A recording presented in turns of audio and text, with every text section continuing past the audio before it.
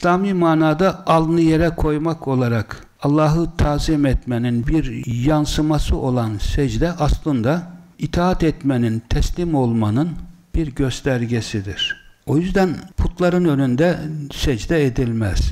Bir insanın önünde secde edilmez. Niye? Ona mutlak itaati gösterdiği ve onu ilah yerine koyduğu için. Allah'tan başkasına secde edilmez, küfürdür. Ama secde sadece alnı yere koymakla olmaz.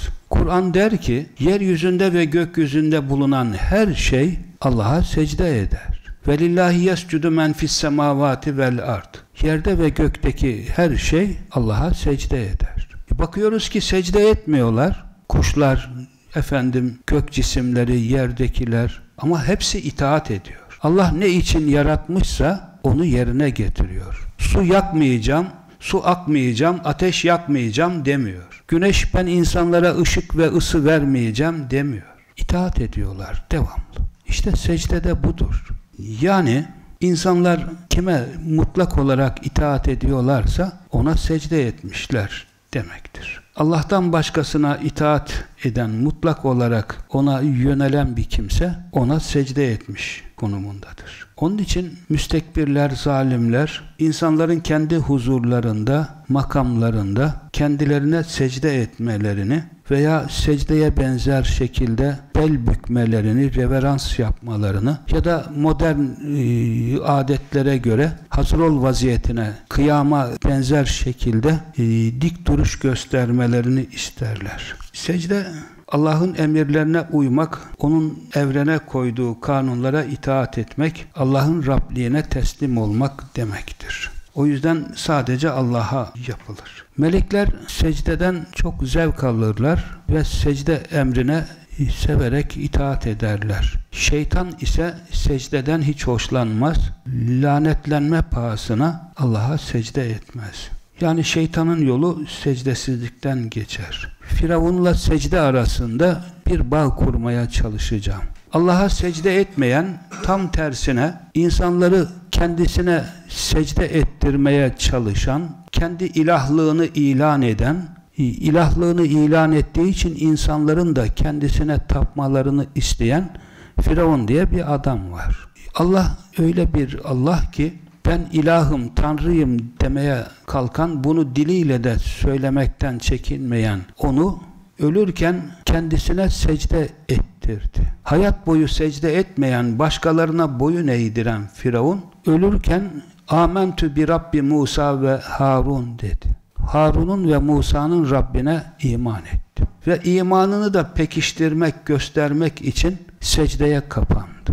Allah ise al-ane, şimdi mi? Ölürken, ecel yaklaşıp göz kırparken mi iman et? Fakat asayte kabl. Daha önce hep isyan etmiştin. Yani Allah o secdeyi kabul etmedi. O imanı kabul etmedi. Ve Yunus suresi 100. ayette ifade edildiği gibi onun cesedini koruyacak ve insanlara ibret olarak göstereceğini belirtti. Bundan 30 sene kadar önce 1985 yılındaydı. Mısır'ın Kızıl Deniz yakınındaki bir kumdan bir ceset çıkarttılar. Mumyalanmadığı halde hiç bozulmamış bir ceset. Secde halinde bir ceset. İngilizler biz araştıralım, inceleyelim bunu kim diye Mısırlıları ikna ettiler. Aldılar, götürdüler. Kendi müzelerine koydular. British Museum'da. Ben de gittim o Firavun'la beraber resim çektirdim. Cam kavanozun içinde secde eder vaziyette 1.60 boylarında aynen Enver Sedat'a benzeyen e, saçları filan bile dökülmemiş, mumyalanmamış, secde halinde bir çıplak bir adam o vaziyette. Derileri bile dökülmemiş. Her şey capcanlı duruyor. E, bilim adamlarının ifadesine göre 3000 yıldan daha eski bir zamandan kalma. Evet. Düşündüm sonra. Mumyalanmadığı halde, tabi halkın evliya filan demediği halde bir adamın cesedi niye bozulmaz? Allah koruyacağım diyorsa korur tabi. Eyvallah.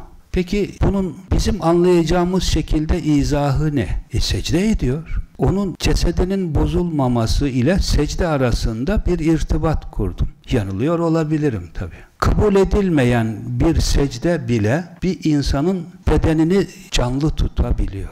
Allah'a yapılan bir secde kabul edilmese bile en azından dünyada insanın bozulmasına engel olabiliyor. Ya kabul edilen secde insanı nereye götürür? Firavun gibi değil de Allah'a iman etmiş bir kulun secdesi insanı ne mertebelere ulaştırır.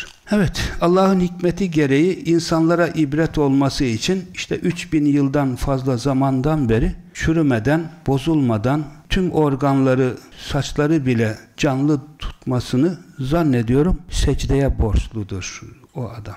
Evet, ahirette kurtarmasa bile demek ki dünyada çürümesine engel oluyor diye düşünüyorum. Tabii en doğrusunu Allah bilir. Yani ölüm anında ve kabul edilmeyen bir secdenin Firavun gibi birisine canlı görüntüsü vermesi yanında kabul olan ve firavunlaşmayan kimsenin secdesini bir düşünelim. Allah'a secde eden mümin çok şerefli bir hayata secdesi sayesinde ne yapacak? Hak kazanacak inşallah diyelim.